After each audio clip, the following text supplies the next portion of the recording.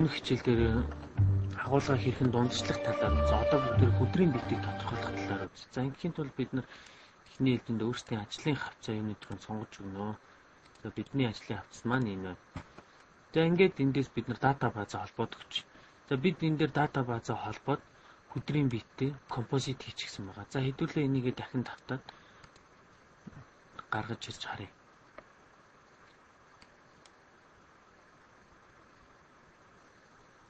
За энэ дээр хоол ID-г гаргачих. Geology patterns гэдэг маань дээр маань бид нар чулуулгын төрлөө оруулж байна. За Murok гэд баруун талдаа нэгээс эхлүүлээ. За ингээд шинээр айд хийгээд за энэ маань 0.8-ын зузаант.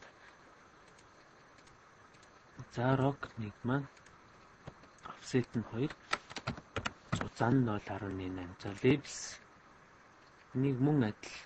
Энд дээр бид нар asset хэвлэг оруулж өгөх хэрэгтэй болно.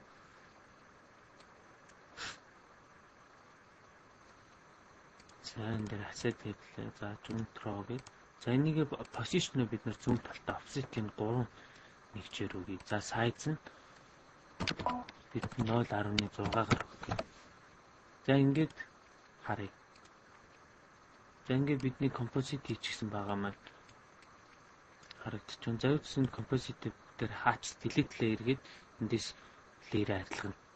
За ингээд бид нэр цооногоо оруулчлаа. За энэ дээр композитээр чирэг даралтаар оруулж байна. За ингэснээр бидний string файл маань харагдаж байна. Композит хийгдсэн string. За эндээс бид нар одоо хөдрийн битийг тодорхойл. За ингийн тулд бид юу хийх вэ гэхээр хамгийн ихний ээлжинд бид зүсэлт хийн. За энэ зүсэлтийг бид нар энэ define section гэдэг командаар хийж өгнө. За энэ зүсэлт гэсэн define section гэсэн команд дээр за энэ define define slice in planes bit гэж байна. За энэ маань одоо бид нар эндээс төсөлт тийм section метод гэх. За энэ дээр энэ distance forward of plane гэдэг маань одоо зүсэлтийн шугамнаас нь өмнө урагш нь хэдэн метрийг бидэнд харуулах вэ гэдгийг илэрхийлсэн метраар нь хэмжигдүүнээ бид нар тавьж өгнө. Distance backward of plane гэдэг маань зүсэлтийн шугамнаас маань хойшхыг харуулж байна. Step distance гэдэг маань зүсэлт маань хэдэн метрийн алхамтай ингээд цааш цааштай явах вэ гэдгийг бид нар харуулна. Нэг зүсэлт хийчээд тэрнээсээ дахиад гараад зүсгүй 50 м-аар цаашаа ингээд цааталт нэг очиж болно гэсэн утгатай л да зүсэлтийн шугамыг ахиулна гэвэл өөрөөр зүсэлтээс харж болно гэсэн үг. Ирэхэд за бидний хувьд энийг за цааш нь 50 м-аар харъя гэж үзье. Урагш нь хойш нь мөн 50 м-аар харъя. За зүсэлтийн алхам маань бас 50 гэж үз.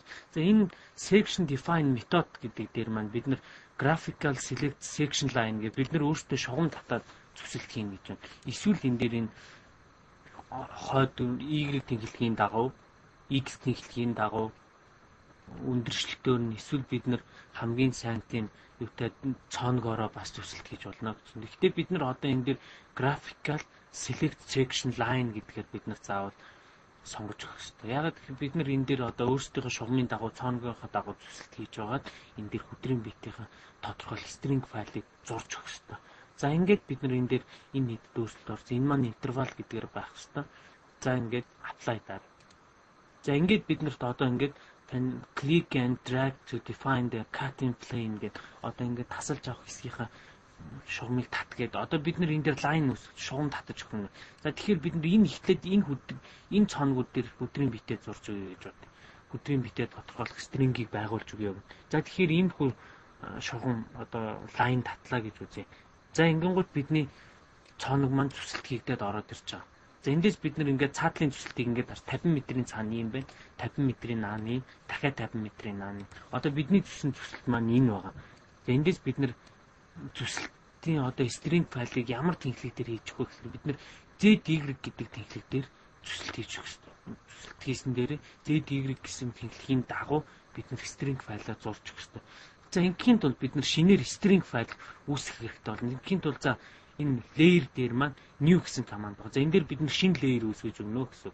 За new гэдэг. За бид нар энийг or body гэж нэрлэж. Энэ маань хөдрийн бит гэсэн. За ингээ хөдрийн бит гэж нэрлээд apply дээр. За энэ дээр or body гэсэн шинэ layer үүсэж байгааг бид нар харж. За одоо энэ дээр хідүүлээ хөдрийн битээ толторхойлох string-гээ зурж. За энэ дээр бид нар агуулга ерөнхийд нь composite-тойгоо харж байгаа. За энэ цооног дээр өндөр агуулга байхгүй. Тийм учраас бид энэ цооногийг орхих болж байна гэсэн.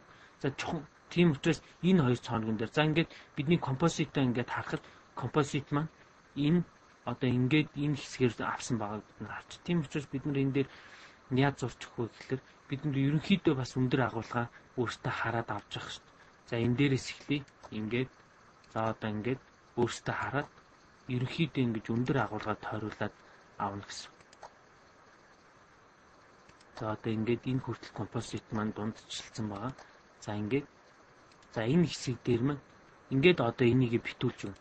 За ингээд энэ хэсэг дээр маань ийм стринг зурлаа гэж бид нар үзье. За энэ стрингээ одоо ингээд орхисон. За бид нар зүсэлтээ одоо болиулах та end section mode гэдэг командыг өгнө. Ингэснээр энэ зүсэлт маань одоо болоод энгийн харагдах горимдоо орно гэсэн. За бид нар ингээ энгийн харагдах